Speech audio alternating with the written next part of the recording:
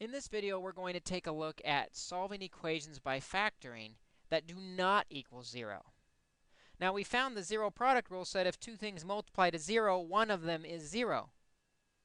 Which means before we factor, the equation must equal 0. So we're going to have to move some terms around from the left side to the right side or the right side to the left side. And to make the factoring easier, we will want the x squared or a squared, whatever the variable is. We want the x squared term to be positive. When that squared variable is negative, the factoring becomes a little trickier. It still works if you're really careful, but if we don't have to go there, we won't. So if we see 5x squared equals 2x plus 16, we want it to equal 0. So we can either move the 5x squared over to the right, but to do that, we'd have to subtract. That would give us negative 5x squared. Oh, we don't like that.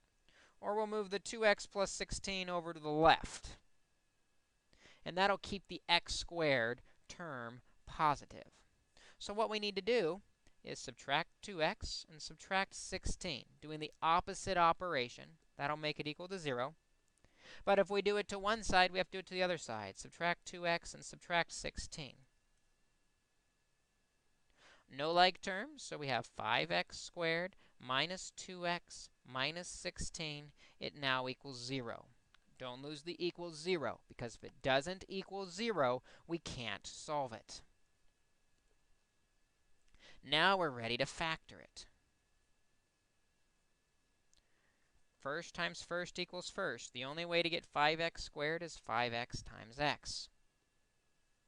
Last times last equals last. Uh, 16 might be 4 times 4. Let's see if that works. Just checking it real quick. 5 times 4 is 20x. 4 times 1 is 4x. Is that going to give us 20? I mean, sorry, is that going to give us 2? No, it's not going to give us 2. So the only way to get 5x squared was 5x times x. So maybe we need another way to multiply to 16. Uh, maybe 8 times 2. 16 is 8 times 2. Let's see if that works. 5x times 2 is 10x. 8x on the bottom. Can we use 10x and 8x to give us the negative 2x? We can. If the 10 is negative, so the outside, 10 is negative, and the 8x is positive. And again, very important, we still equal 0. 5x plus 8 times x minus 2. We've now factored it. So it equals 0. Then we factor it. Now we can set each of the two factors equal to 0. 5x plus 8 equals 0, and x minus 2 equals 0. And we can solve these two equations. Subtract 8 from the first one. We get 5x equals negative 8. Divide by 5, and x equals the fraction negative 8 fifths. Or, in the second equation, add 2 to both sides, and x equals 2 we've got our two solutions. When x equals negative 8 fifths or when x equals 2, the equation 5x, the expression 5x squared will equal the expression 2x plus 16. Let's look at a second example. Here we have negative 2x squared equals x minus 3.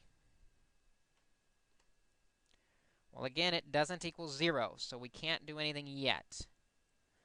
We want the x squared to be positive. So this time, let's move the negative 2x squared over to the right side. That'll make it positive 2x squared. So we get rid of a negative 2x squared with a positive 2x squared on both sides.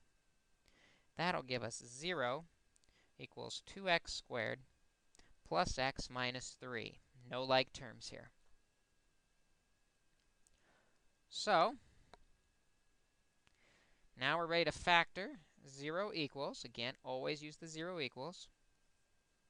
The only way to get 2x squared is 2x times x.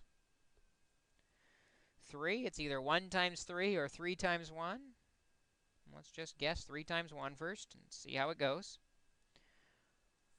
Uh, 2x times 1 is 2x. 3 times x is 3x.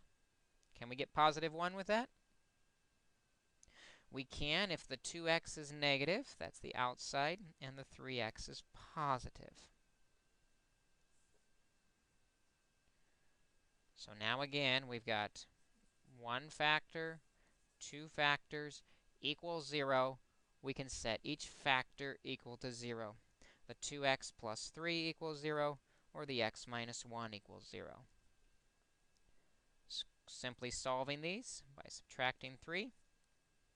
2x equals negative 3. Divide by 2. Our first solution for x is negative 3 halves. Adding 1 to both sides gives us our second solution for x. x equals 1. When we're solving equations by factoring, the equation must equal 0. Make the equation equal 0, factor it, and set each factor equal to 0.